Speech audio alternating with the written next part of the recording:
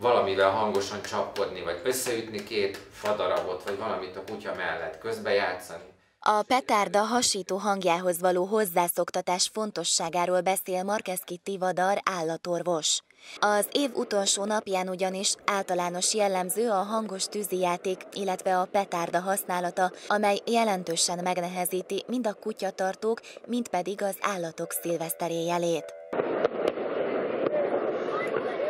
A tűzijáték sikítása, a rakéta sistergése vagy a petárda robbanása körülveszi az állatokat, értelmezhetetlen számukra, ezért menekülési ösztönt vált ki belőlük. Különösen a kutyákat viseli meg, hogy nem látják a menekülés útját. Nagyon sok gazdi olyankor rohan be hozzám, hogy valamiféle nyugtatót adjak az állatnak, mert ugye rettenetesen pánikba kerül a, a zaj, zajoktól, akkor már nem lehet őket lenyugtatni. Először is ezek már aznap vagy előtte nap, amikor elindul a petárdázás, már olyan idegállapotba kerülnek, amit már nem lehet nyugtatni. Egyébként is a kifejezett nyugtatók nem jók ilyenkor, mert bizonytalanná válik az állat, a hangokat, az ajokat ugyanúgy hallja, a félelem érzete ugyanúgy kialakul, viszont nem tud reagálni rá, nem tud elbújni, stb. Az állatorvos hangsúlyozta, a kutya félelem érzetének megszüntetése egy hosszú tanulási folyamat. Fontos tanács, hogy a félelmében remegő kisállatot bármennyire is sajnáljuk, tilos vigasztalni,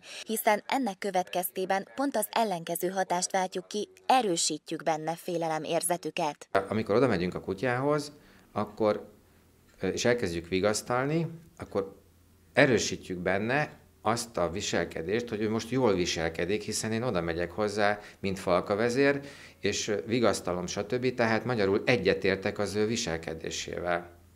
És ugye ezzel erősítem benne gyakorlatilag azt, hogy a legközelebbi alkalommal, amikor ugyanilyen szituáció lesz, ugyanígy fog viselkedni, hiszen előtte oda ment hozzá a falkavezér, és ugye nem megdicsérte, de legalábbis együtt érzett vele.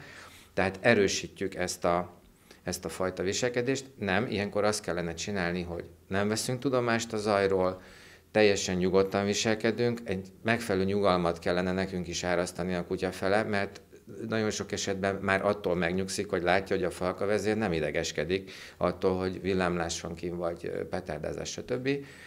Tehát mindenképpen nyugodtan viselkedjünk, próbáljuk meg elfoglalni a kutyát. Markeszki Tivadar azt tanácsolja, tekintettel a szilveszterre, séta közben ne engedjük szabadon kedvencünket, éjjel pedig egy nyugodt, viszonylag csendes helyre helyezzük el kutyusunkat, a szobát sötétítsük, és tegyünk be valami zenét, amely elnyomja a sivító petárda zajokat, valamint foglaljuk le őket.